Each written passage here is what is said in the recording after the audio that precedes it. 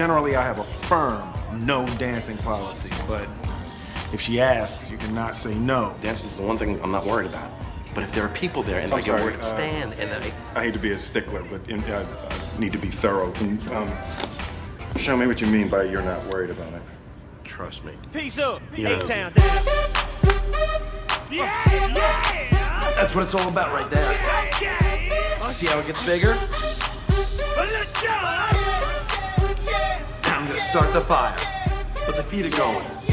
I start the fire, I make the pizza. Hips are always going with it.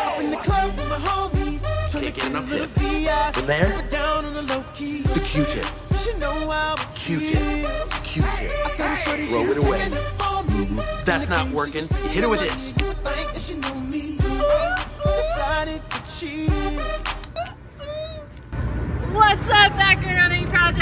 Girl, Stephanie Brown, aka Miss Purple Brown, aka Chef Herbs. Welcome to this week's Purple Thursday, where I'm about to teach you a really simple breakfast routine for those mornings when you're just running out of time. So it's gonna be super quick, super delicious, and super fun. So let's get started. All right, so let's get started. The first thing you're going to want to use is some yogurt. I have this triple zero vanilla yogurt, but you can use fruit yogurt or any flavor you like. It really is up to you. If you're dairy free, you can use any other kind of yogurt too.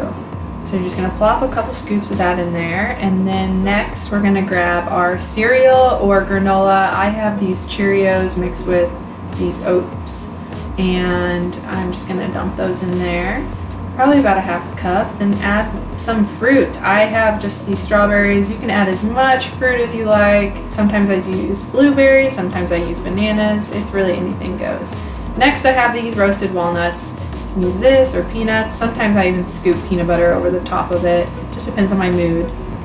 Last but not least, the leche. We're gonna pour this milk over the top. Ooh, it's all about that cold pour. Yes.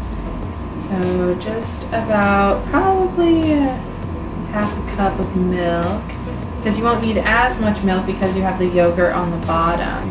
Oh, delicious. All right, it's looking good. And then I just mix it up and mow down basically.